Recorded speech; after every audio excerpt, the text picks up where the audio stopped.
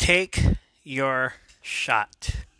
Or in the words of four times Stanley Cup world champion Wayne Gretzky, you miss 100% of the shots you don't take. I usually use this space to reflect on a random moment of my life.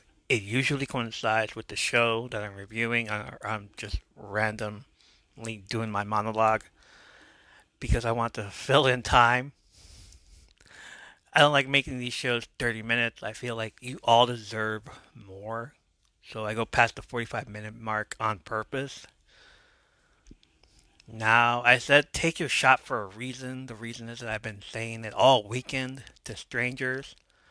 One particular moment was last week. I went to this person's stream because his name interested was interesting. It was all capital I's or like a barcode. I'm gonna call him barcode. His name is barcode. He had a great setup. First of all, I'm a huge toy geek. My toys, when I'm doing my podcast, are right behind me Marvel, DC, wrestling, an 18 inch Abe Sapien, a 36 inch John Cena, who, when anybody asks about it, I tell them I don't see him. They're all there. Right now, it's being set up for Halloween. You know, it's almost there. We're almost there. Some are still boxed, others are still up there out of the box. I love them all. They all deserve some credit up here. But this was the icebreaker for me. I said, That is a lovely queen you have there. I hope she slays.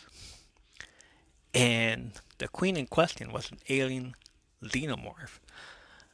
The queen, the alien queen. I watched up the third movie, I believe, as well as Alien vs. Predators. I enjoyed the franchise.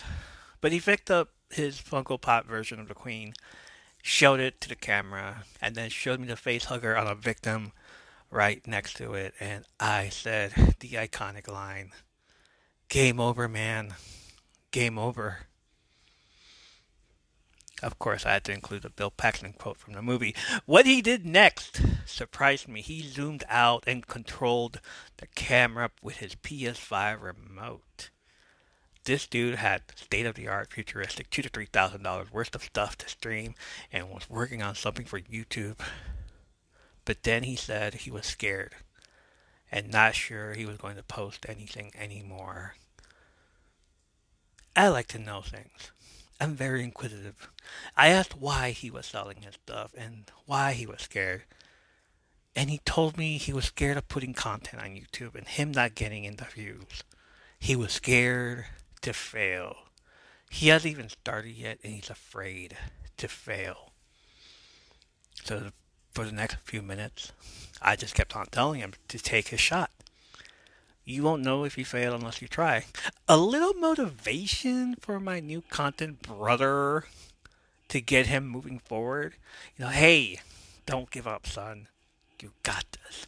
Think about all his other content creators, his other favorite content creators to be exact, they all started the same place, nervous and not knowing what's going to happen in the future.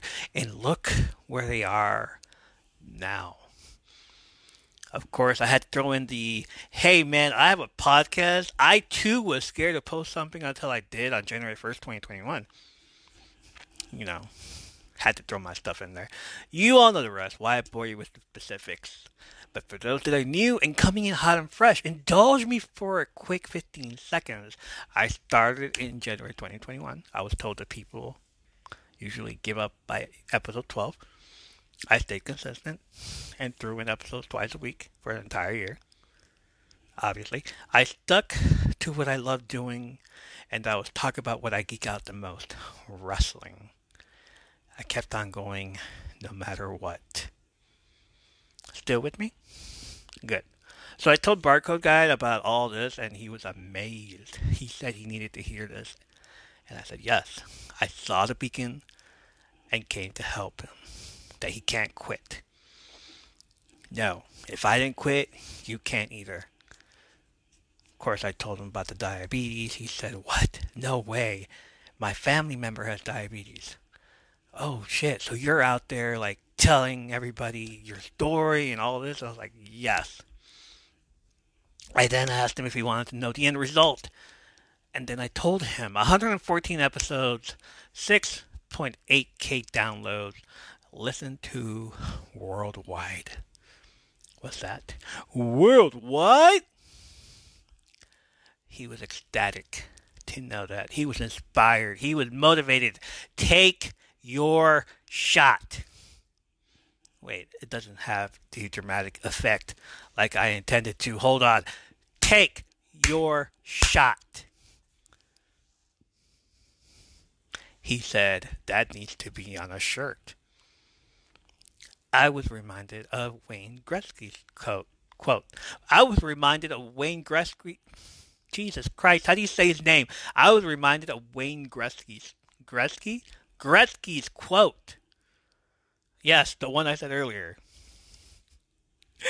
Uh, you miss 100% of the shots you don't take.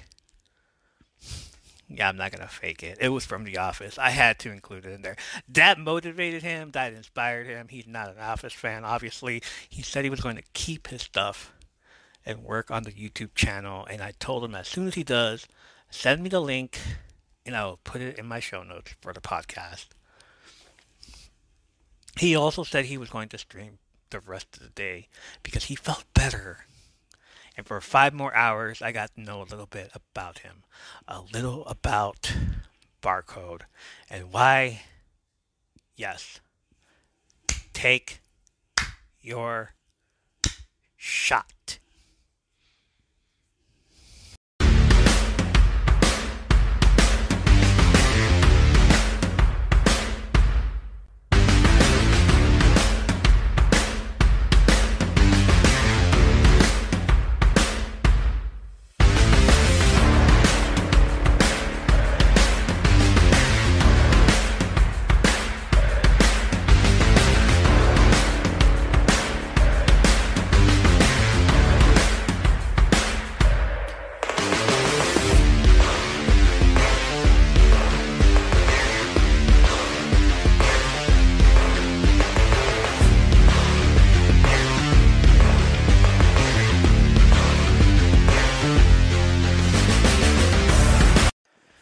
Welcome back, you beautiful listeners. This is Evo, and you are listening to another beautiful episode of From Under the Apron.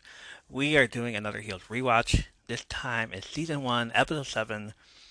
I told you what happened this past weekend. I gotta tell you something else now.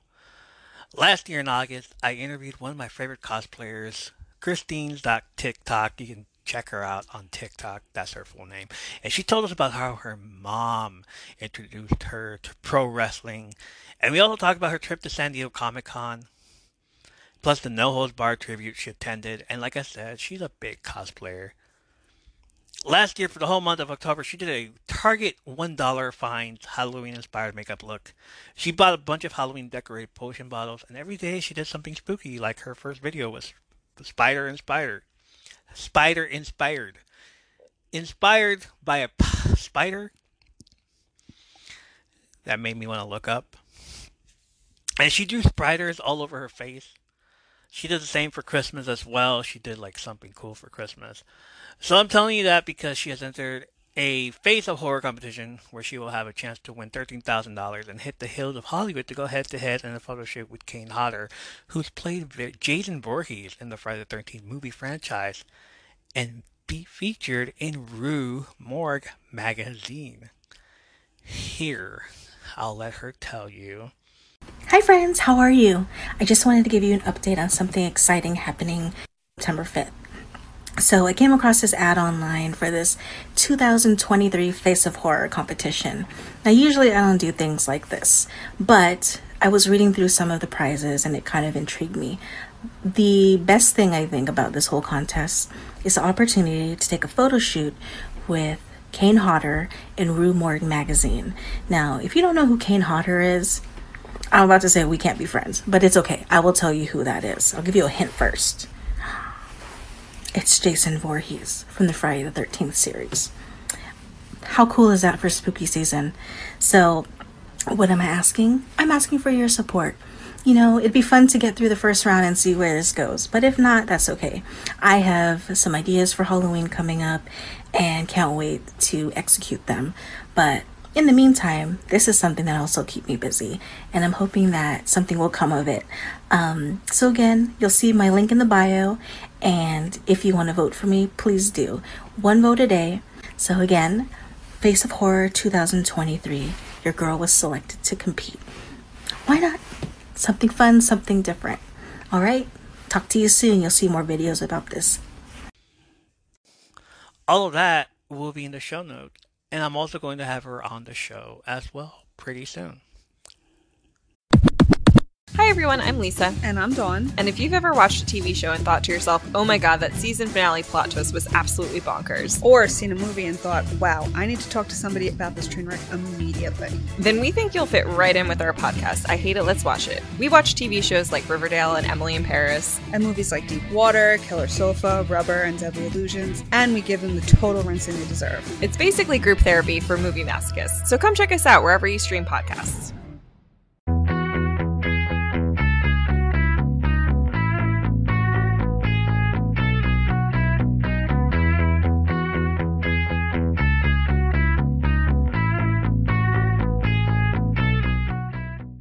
What is up? This is Fuck It Let's Talk with your host, Christine. Monthly, I'll be here to discuss the ups and woes of parenting and explore topics with other parents, or not parents, in hopes of finding a little sanity. Just a warning the keyword here is puke. Eventually, you'll get it. So come join me where we explore honest takes on parenting and life. Don't forget to follow on Spotify or subscribe wherever else the podcast is available. Be sure to check out the polls on Anchor, where you can also show some support if it tickles your fancy. And if you want more, head on over to the newsletter F It Let's Talk on WordPress.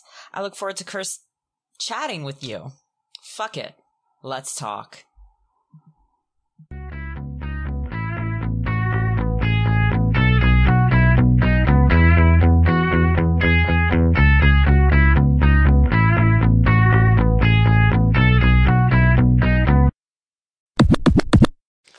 Welcome back.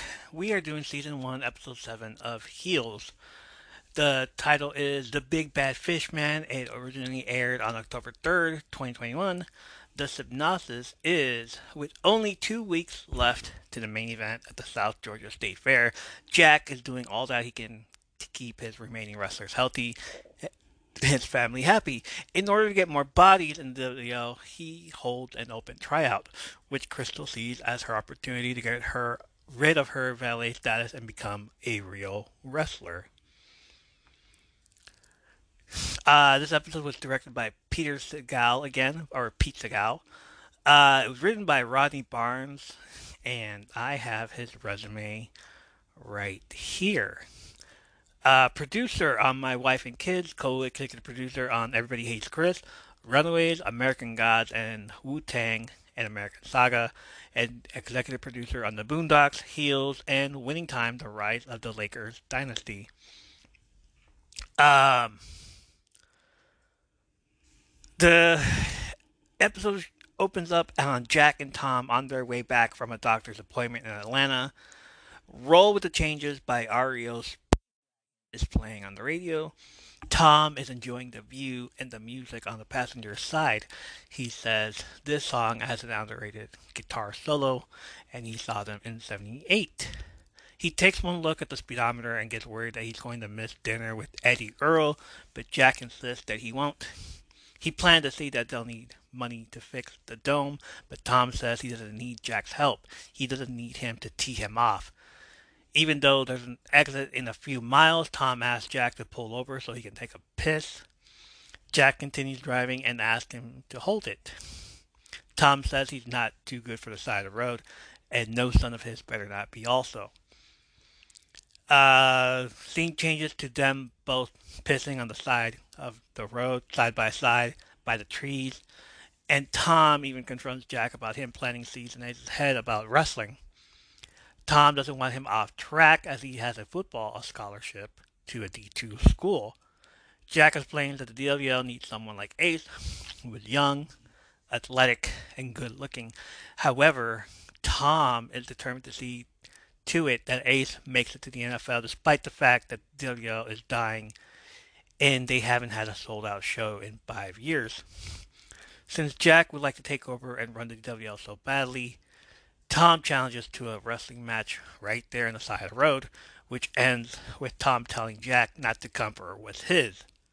In other words, if you take a shot at the king, you better not miss. That's the cold open. The show opens with the theme music right after.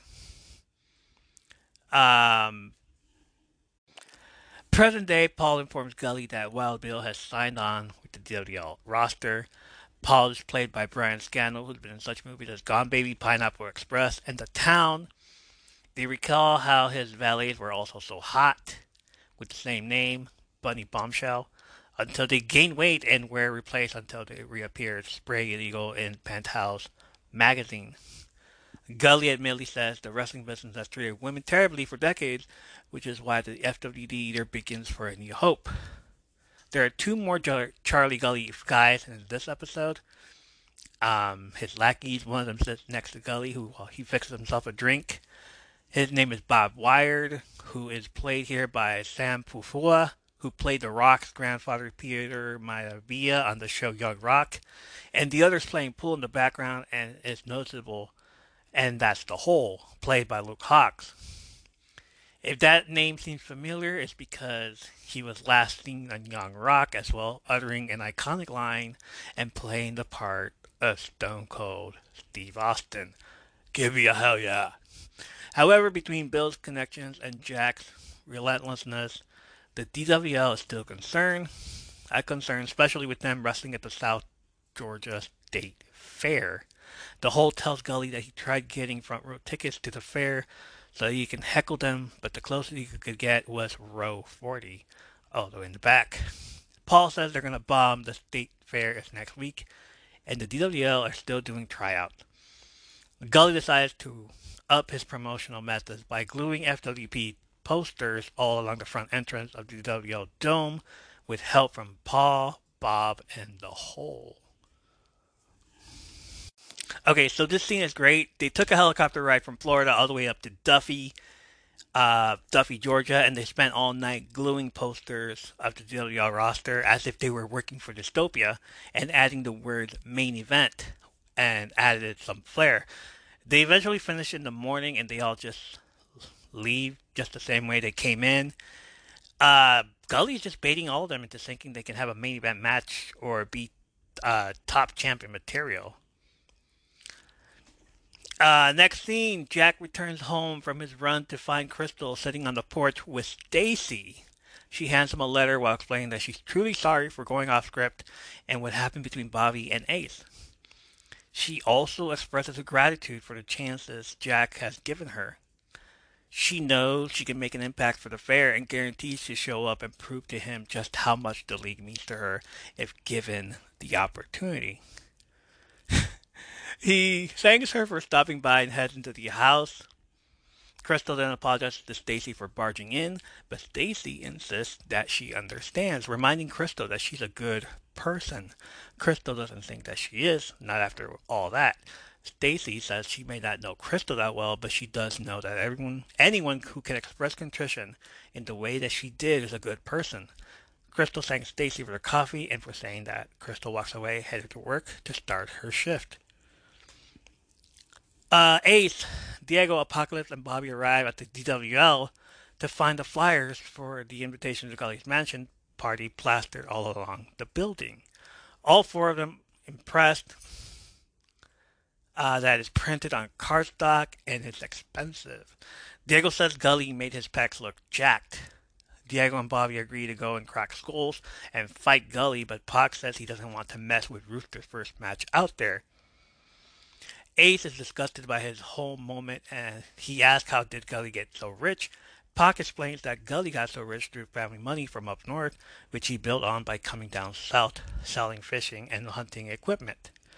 Jack arrives soon thereafter and reveals that way back when there was an upstart promotion that stole a couple of guys from the DWL. They were called Crawdad, Crazy Wrestling Assholes Wrestling Dawn and Dusk. Guys would leave them and go to wrestle for a few dozen meth heads, only to come crawling back to Duffy a few months later. Jack says back to the DWO, back to the family. Jack tells them all that if they're standing here right now, it's not for the money because he can't pay any of them, especially Ace, since he's family. He's the real family here. He says that he hopes one day he really hoped he can pay them money, but if the boys are here, it's because once a week they get in that ring for a few minutes and they get to feel like a god. They get to walk into the Duffy Dome and they don't have a job and they don't have a boss and they don't have a wife up their ass. Diego says he would like a wife up his ass. Everyone laughs. Jack says the only person they answer to here is the crowd. He says that they have the best crowd, and after the state fair, they're going to have the biggest crowd. So he says to Charlie Gully and his FWP expensive cardstock the same thing that King Spade would say to Crawdad Who gives a flying fuck? They're all vibing with Jack in his speech, but Ace had to shut it down. He tells Jack that Wild Bill's inside training, and Jack says time to go in and amuse themselves. Debbie checks in on Willie, who is watching Bill train, as she may not be the most comfortable with Bill's return, but Willie insists that she's fine. She's fine. Willie is fine. Willie's going to be fine. But Willie's not fine. As she will constantly say that she is fine throughout the episode, but clearly not so much. She wants to forget about this man and don't want anyone to talk to her about him, so she avoids anything about him. Bill presumes that they're headed to confront Gully for plastering his promotion all over the WO, but Jack and Ace aren't interested, as they have greater matters to attend to. Bill says Gully desecrated Jack's church. He can't let that stand. Jack says, but he shall, because he needs to focus on the biggest main event in the history of the league. Normally, Jack would write the entire main event, but this time he wishes to have a creative discussion about the main event, while Bill thinks he should win. Of course, Jack rolls his eyes and asks who could have predicted that. Ace rolls in and says that the guy who kept the belt for himself by dicking, by dick dicking him six ways from Sunday. Willie chimes in and begs them to scour the earth to find new metaphors for betrayal.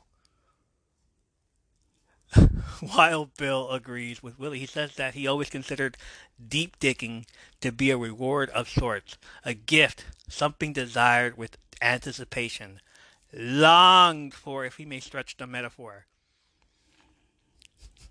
Willie's disgusted. Jack agrees it's time for him to give up the belt, but it's a matter of who gets it. Ace and Bill debate which of the two of them should win. Bill says he doesn't care. He's worn hundreds of belts and this isn't about the pride, but they know what's what. If y'all want the biggest pop on the biggest nights, you put it on the biggest star. C'est moi. Ace calls bullshit. The whole point of it is making new fans. Everybody's seen Bill wrestle a thousand times. Bill winning is the same old fucking story. Emphasis on old. He points at Bill and says the guy is speaking French, which is a dead language. While Bill smirks and tells Ace he should try it in the brothels of Paris. It's very much alive there. Ace continues with his point, sort of like a promo of his own, very own, trying to sell himself to beat a new champion. He tells Jack the tickets they sold are getting people to follow the post and previews and recaps. They're getting invested. Wild Bill says, You're welcome, as he had a hand in some of those as well, but Ace ignores it and continues. If Bill wins, yeah, they may cheer, and they'll never think about us again. But if the kid pulls up an upset, I don't know. That feels like something you maybe want to come back for. Wild Bill interrupts and tells Jack he gave him a gift. The gift of his ass. And you don't look a gift ass in the mouth, because that mouth is my asshole. Jack is perturbed and looks to Willie for help, but she simply suggests flipping a coin. Ace says, fuck that. Ace says, fuck that, it's his turn. Wild Bill says the last time was his turn. He cried like a little bitch, which was the ending of episode one when Jack wrenched that arm so hard he started crying and gave up. Ace and Bill shove each other away, and Jack tells him knock it off. Ace asks Jack to make sure to let him know when he makes the right decision.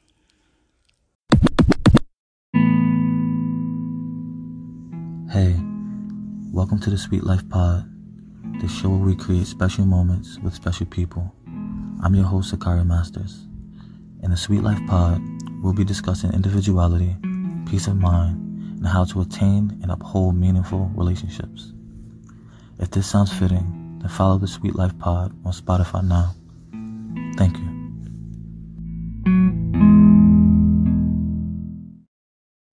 Hi, everyone. This is JJ, the co founder of Good Pods. If you haven't heard of it yet, Good Pods is like Goodreads or Instagram, but for podcasts. It's new, it's social, it's different, and it's growing really fast. There are more than 2 million podcasts, and we know that it is impossible to figure out what to listen to. On Good Pods, you follow your friends and podcasters to see what they like. That is the number one way to discover new shows and episodes. You can find Good Pods on the web or download the app. Happy listening. Next scene is at Thomas Elementary School. Two kids are drinking from the water fountain, and here comes little Thomas with the hall pass board because he wanted a drink of water also. But the other kid is taking his time. Thomas asks if he's almost done. The other kid tells Thomas to chill. He's thirsty. But so is Thomas.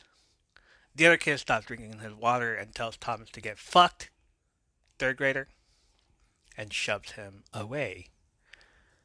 Thomas comes back, throws the hall pass the board on the floor, and tells the bully to say it again. And he's going to punch him in the face. The bully once again tells him to get fucked. And you see Thomas bringing back his arm and throwing a punch at the camera, which goes to black. This kid is fucking amazing. No fear. Thinks wrestling is real. Yep. Eddie and Annie Earl show up at Staci's place of work, the Piggly Wiggly, to reveal to her that Mickey Holloway wants her to sing the national anthem at the Georgia State Rodeo Championship after watching Annie's recording of Staci singing at the baptism. He, celebration is interrupt, the celebration is interrupted by a phone call from Thomas School, which only means one thing. Next scene is Ace sitting on his bed watching Rooster's reels from his Instagram and him flexing he's in North Florida enjoying the scenery at Charlie Gully's place with women and peacocks running around. Ace shuts his phone down, grabs the flyer of his face and the word main event, and takes off his shirt. He leaves and the camera zoomed in on the flyer with Charlie's address on the back. He's headed to Jacksonville, Florida. Jack and Staci speak to Thomas at home after learning he got suspended from school for a week for fighting. Staci tells him that he can't hit people out of anger, though Thomas recalls how his dad hit Uncle Ace at the hospital because he's a bad person. Thomas adds that it's okay to hit someone so that they know you're mad at when they did. When Thomas excuses himself to go to the bathroom, Staci blames Jack for hitting Ace as it has sent Thomas the wrong message and wrestling has only furthered the confusion since Thomas can't seem to tell what's real and what's fake. Remember, kids, don't try this at home. Yeah, that was the whole thing back in the 90s. Don't try this at home. Don't try it at school either. Don't kick people in the nuts and give them a stunner. Don't DDT them. Don't tell the teacher to suck it. Because DX told this. Yeah, I understand I did that. um, woe is me. I found the error of my ways. I get it. But don't do that. Kids, if you are listening to this, if you are a young adult, if you are a kid listening to this show, which I hope you're not, because I don't think kids should be listening to my show. But if you are, don't try this at home. Alright? Rock on, brothers and sisters. Sister, brother, brother, sisters. Oh, yeah. Staci goes on a rant and reveals to Jack someone went out of their way to buy Kleenex to throw them out at Ace. Jake, Jake, wow. Jack has this sus look and avoids eye contact with Staci. She says she doesn't understand how people can be so cruel. It's an, it's an appetite for unkindness. It's fucking disturbing. Jack says the crowd is playing pretend Also, it shows they're invested. Staci asks that they're invested in being cruel. She then reveals she's been asked to sing the national anthem for the rodeo championship. Jack is happy for Staci and wants to pop up a nice cold bottle of wine that he got for his birthday. She says that the that's the good stuff. He says that we open the, up the good stuff when we have good news and says he's proud of her. Uh, next scene, Crystal shows up for an open tryout at the DWL. She sets up backstage and gets a FaceTime from Bobby, who is at ringside rooting her on and being supportive. He tells her he has God on her side, himself, and the rest of the boys cheering her on. She says thank you and hangs up. Pac asks Bobby when he's going to tell Crystal how he feels about her. Bobby says when the time is right. Pac says not to wait too long. Women like her don't stay available, so drop your nuts and speak up. Bobby smirks. That needs to be on a shirt. Drop your nuts and speak up. Camera pans over to the other side of the ring. Diego watching on as Devi is interviewing recruits. One of them comes up to tell her his gimmick is the dad. Just your average dad with a passion for grilling, drinking beer, and kicking ass. The dude has a dad bod gut. He is there. The dad here is played by Scott Hunter, who's been a stunt performer in a few Marvel movies like Captain America Civil War, Avengers Infinity War and Endgame, and Spider Man No Way Home, a few DC movies and shows like Shazam, Stargirl, and Gotham Knights, and he was a stunt double for Thomas Ian Griffith, who played Terry Silver in Cobra Kai on Netflix. And finally, he's also an assistant stunt coordinator and the cast trainer here on Heels. Devi hands the dad a waiver and tells him to sign it just in case he dies. Crystal walks in and asks Debbie for a sign up waiver as well. Debbie then informs Willie that Crystal is planning to try out. Willie doesn't stop her. Instead, she's impressed by this. Ace arrives at Gully's mansion party in Florida.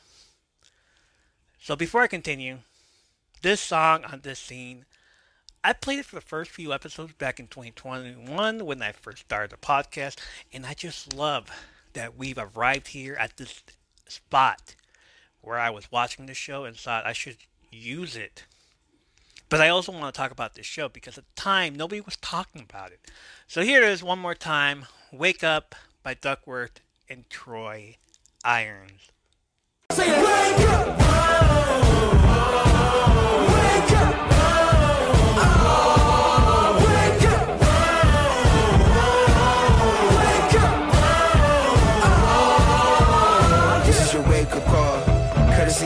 Fist. That purposely man chose y'all. And nigga, no, I never miss. This is a courtesy warning. Know that the wolves are swarming. You know if it rains tonight, you probably won't make it to morning. Ace walks around the mansion and runs into Rooster, who points him in the direction of Gully, who arrives via helicopter. Ace claims that he went, he came to kick Gully's ass for messing with the WO, but Gully's surprisingly impressed at the lengths Ace is willing to go to defend his family, his family's honor referring to Ace as the embodiment of embodiment of gallantry. Gully says he drove all the way over here to defend his family's honor, to be a white knight, and to do what his cowardly brother couldn't do, and that is put the big bad fish man in his place. Yeah, yeah, there it is, there it is. Yeah, yeah, he said it, he said it. There, he said it. He said the name of the episode. Ace tells Gully he's not a fucking knight, but Gully tells him that how he presents. Bold, fearless, duty bound. He tells Ace it's worth mentioning of it before he kicks Gully's ass. However, rather than fight, Gully proposes they talk about Ace's future, drink some of his beer, smoke some of his weed. Talk about Ace Spade, the hero. Ace turns to look at Rooster, who nods like, hear him out. Ace turns back to Gully, grabs the beer, and opens it up. Everyone at the party cheers and go back to having fun while cheering that Gully is God. Gully says he didn't come up with it, but it is kind of nice that they're chanting that. Uh, back in Duffy, Willie supervises the tryouts. in which a wrestler named the Dad seems to be the only standout talent. That is until Wild Bill enters the ring and buries him, calling him a youth pastor and saying he's going to take his woman, who he imagines he calls herself the mom, to show her a good time and sends him packing. Crystal then challenges Wild Bill, which ultimately ends with her impressing the crew and flipping Bill on his back with a head scissors, leaving Debbie to question why don't they have women wrestlers. Jack arrives and asks about tryouts. Willie reveals that the dad was the only standout. Jack says he's hired uh, with Rooster gone, Big Jim retired, and Bobby Pin injured. They need bodies. Willie also reveals that Crystal tried out and that she's surprisingly good. While she is small, she is also acrobatic. Jack knows that as he saw her head scissor a guy outside Rooster's bar a few episodes ago. Jack believes that they're at a place where they'll they have to choose between Ace and Crystal, as they can't be together anymore. But Willie disagrees, adding that the fans like Crystal just as much as Ace. Willie suggests putting Crystal in the main event against Jack, Ace, and Bill for the belt. Jack is reluctantly is reluctant because she's five foot nothing. Willie corrects him with five foot three, but who cares? It's fake, right? Jack says she can't pick him up but can she pick up Ace or Bill? Willie says she doesn't have to pick anyone up. And this is where she starts name dropping actual wrestlers. You think Bob Backlund could have really beat up Jimmy Snuka? Jack writes the script. Have the boys lean in like Andre did for Hulk. And write for the Times. Why does he think the real housewives are so popular? Women can be terrible to other women. So let's give them the opportunity to be terrible to each other in the DWL ring. Jax then says it's not about what she is about, but it's about who she is and who she is the girl that did a number on his little brother. Willie then begins to realize that Jack's reluctant to give Crystal a chance isn't because of who she is as a wrestler, but who she is as a person and how she hurt Ace. Willie says that Ace is lucky to have his big brother looking out for him, and that is by pushing Crystal away from Ace, Willie replies that she wished Jack cared as much about how Bill makes her feel as he does about how Crystal makes Ace feel. Jack tells her that she, he's not concerned about Willie because she's not emotionally mature and recognizes that Bill represents them selling out the state fair. He's a gift of fate. Willie says that fate can twist as she walks away from him toward the door and adds that everybody else sucked. Gully insists that he means no harm, and as a show of good faith, he's already sent a group of guys down to clean up his mess at the DWL. It was a prank and merely a plot to bring Ace to him to show him his word, his world. He explains that his world and business is functional and how he tries to foster a world where dreams can come true, which is the exact opposite of the DWL, which appears to be one of those young adult dramas his daughter spends half of her life watching. In walks his daughter, Lucy Gully, played by Michael O'Malley's daughter, Fiona. One of the perks of being an executive producer is that he got his family on the show. His wife plays Wild Bill's manager. Lucy asks if she can take the Lambo. Gully asks how many drinks has she had. She answered with two. He tells her to wait an hour and then she can go, but drive slow. He introduces her to Ace. She reveals to him that her dad shows them his matches all the time, and he's really talented. Ace says thank you, and she walks away before Gully telling her to make good decisions. Gully encourages Ace to join them and fulfill his destiny. Ace finally realizes that Gully is nervous. The DWL has better athletes, storylines, and a better venue. Gully denies any nervousness and attempts to convince Ace to join him. He tells Ace he's pissing away his prime, come and wrestle in his promotion, playing the kind of character he's in real life. Strong, cool, captivating, brave. His fans would love him. They would eat his shit up. Keep in mind, he also promised Rooster this, and he defected as well. So Gully is trying to get in everyone's head and promise them the limelight. Gully even offers to give Ace his own merch. He can make his own money, get out of Jack's thumb, people see Ace as someone who will always be getting screwed by Jack. Gully asks Ace if he's familiar with Rule 34, which is the internet principle that posits for any fictional character, someone somewhere online has drawn them having sex. Like Hentai, but Hentai has evolved. Gully searches in his pocket for his phone and says he bookmarked, uh, bookmarked a picture of a drawing of Jack literally screwing Ace. Ace is disturbed and calls it twisted. Gully says the reason he calls his company dystopia. They live in a fallen world, a world of smut and shit and violence and people who traffic in and revel in dark, twisted shit. Ace asks Gully why is he so obsessed in dark and twisted shit. Gully asks Ace if he ever had the displeasure of having a fat French Canadian priest put his soft hands on him when he was 12, because he has. It will give him a point of view about the world. Those drawings are what people see him getting screwed by Jack and him kind of enjoying it. It's sad and it doesn't have to be that way. Gully's offering him another way. He proposes that Ace stay the night just to see what they're about in order to at least make an informed decision. A decision that Ace can make for himself by himself. Gully walks away, leaving Ace to deal with that. Alright, so I'm sussing Gully out for this one. Um, question to anybody out there listening. Uh, hopefully you have an answer for me. Don't you have to commission something like that on the internet? Like, I want to say that Gully paid someone to draw an image of two specific people having sex, especially when nobody outside of Duffy know about the DWL.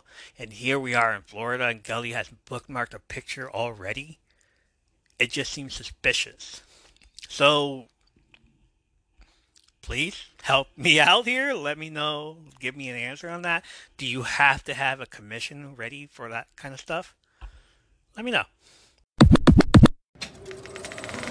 movies, and feelings. Pop Pop! Bring Your Own Popcorn is a podcast that dives into people and the movies who love them. Let us preach to your choir or stoke your ire as we spiral down memory lane with cult classics, Jurassics, and other genres that rhyme with traffic. What we lack in education, we make up for with comedy, compassion, and camaraderie. I'm your host, Mixtape Majesty, inviting you to join me and an assortment of wonderful guests on fine podcast apps everywhere. Bring your own popcorn.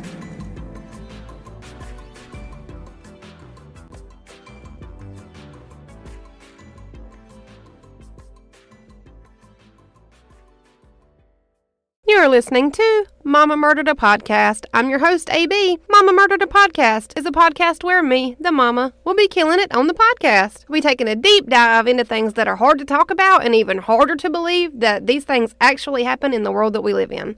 This entire podcast will be a trigger warning. I'll be talking about triggering topics while I dive headfirst into a lot of the cases that I'll be covering. New episodes will be released every week on Wednesdays because well, because nobody likes Mondays and because Fridays are for day drinking and barbecues. Some of the case topics will be murder, of course, serial killers, like Dennis Rader, the BTK killer, missing persons cases, like five year old Summer Wells, who vanished from her own yard in broad daylight in the middle of June in Tennessee in 2021. And especially the ones where it kind of seems like they just vanished into thin air, like Brian Shaffer. He walked into a bar, but he never walked out. He's still never been seen again. I'll also be covering cold cases and lesser known cases. Join me every Wednesday to talk about all things tragic, murder, and things that happen in the downright ugliest sides of society. If you like what you hear and you want to support the podcast, you can rate me on Spotify. You can also leave a review and rating on Apple Podcast. You can follow me on Twitter and Instagram at murdered underscore mama. All these things are free and they only take about a second to do, and it really does help grow the podcast. If you have any case suggestions, please send them my way you can send them to the email address mamamurderedapodcast at gmail.com. Uh, Willie shows up at Crystal's unexpectedly and tells her that she's been fired. Uh, Jack returns home and is in his driveway listening to the missed voicemails he has on his phone. The first message is from Constant Garrity from the State Fair Commission following up on his insurance forms.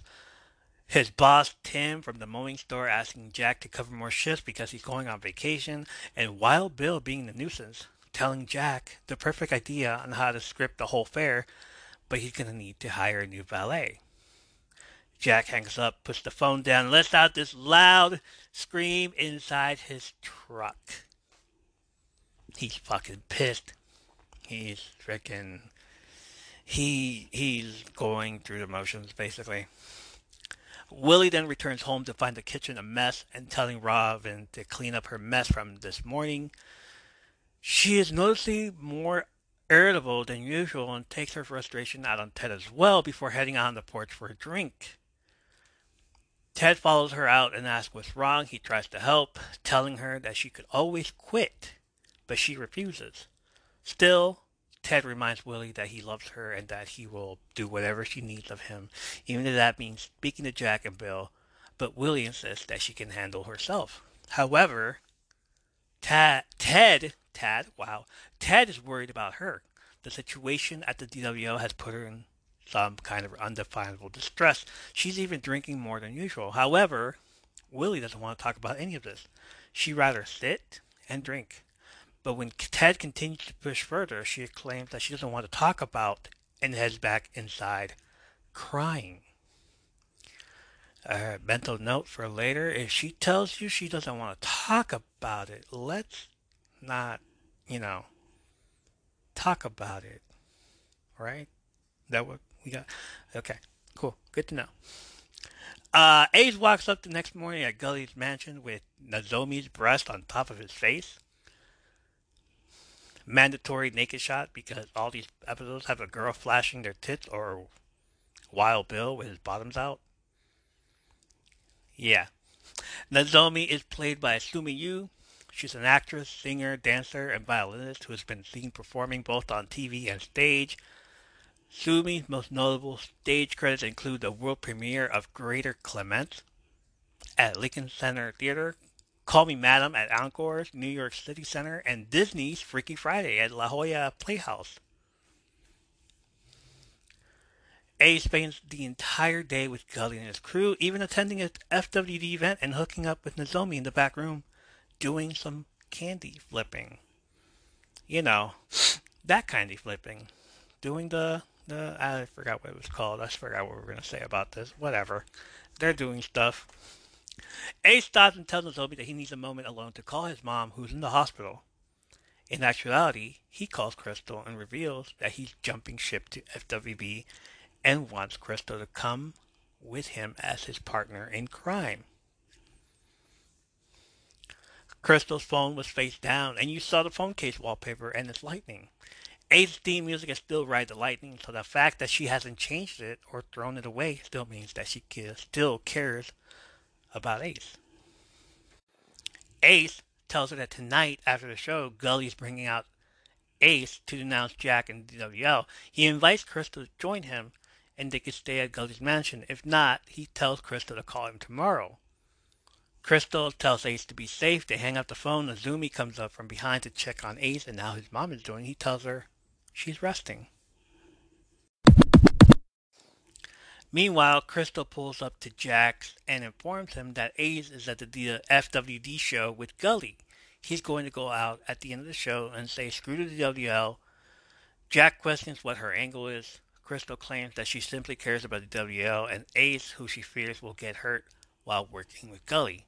Jack thanks Crystal for the information and heads inside where he tells Staci he's going after Ace, but she suggests that Jack simply let Ace go if that's what he truly wants after they were enjoying time together as a family after learning that Staci would be singing the national anthem.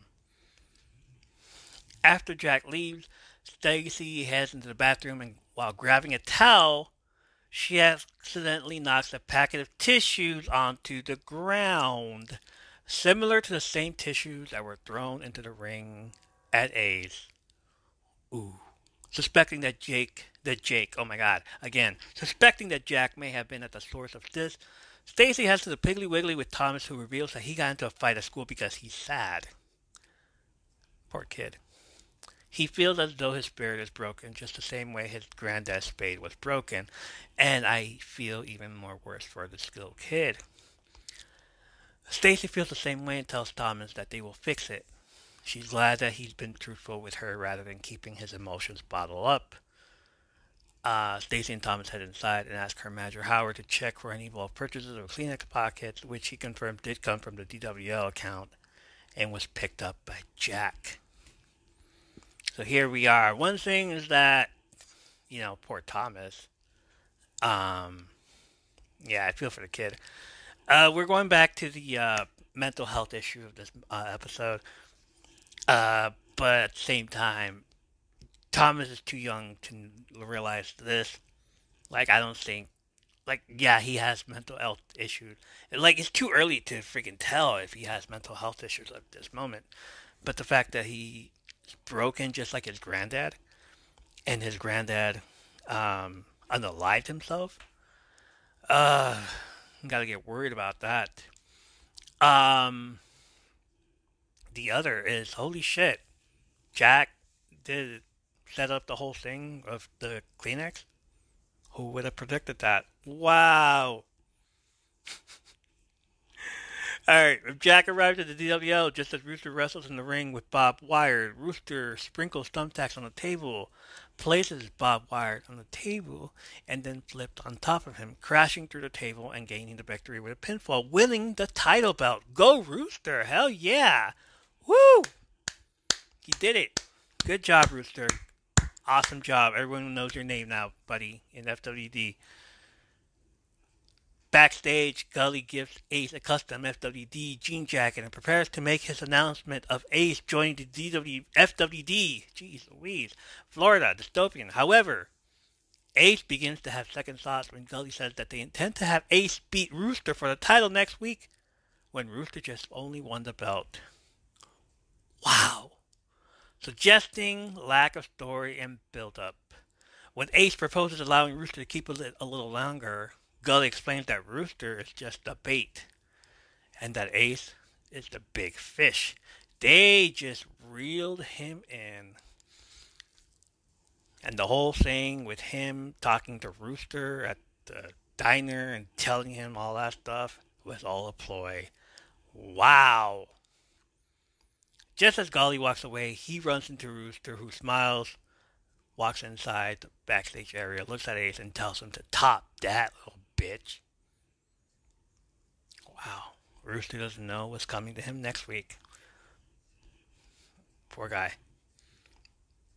Gully enters the ring with the crowd chanting, Gully is God over and over again. He raises the mic to his lips and calls out, What a fucking night!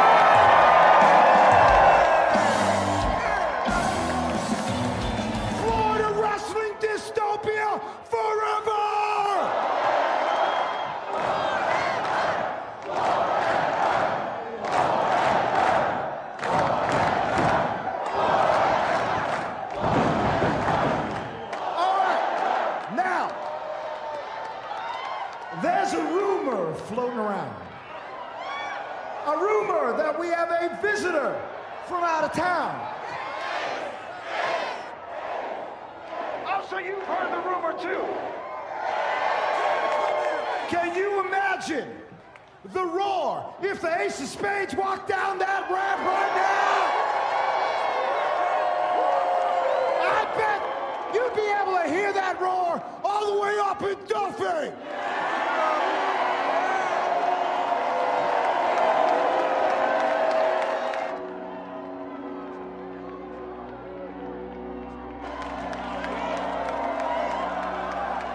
Sorry to say, sorry to say the rumors aren't true.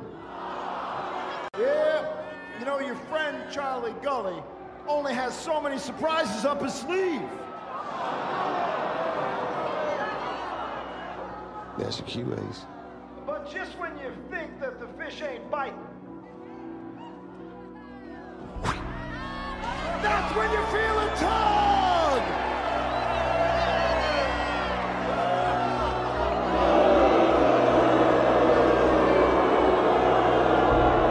But instead, Jack shows up in the ring.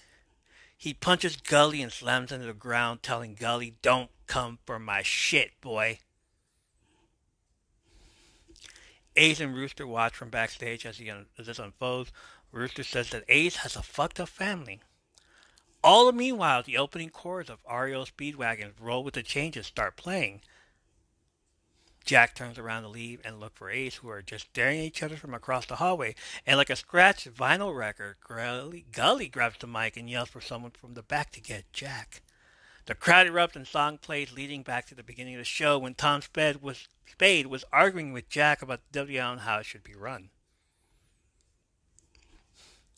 And that's the end of the show. The episode, I mean. Uh, okay, initial reaction. A lot of fun dialogue on this episode. I love how we started with a flashback of the song that's going to end this episode. Jack slowly turning into his father towards the end. Don't take a shot at the king. Just don't. You went into his domain, you got to try to poach Rooster and then his brother, so Gully made it personal.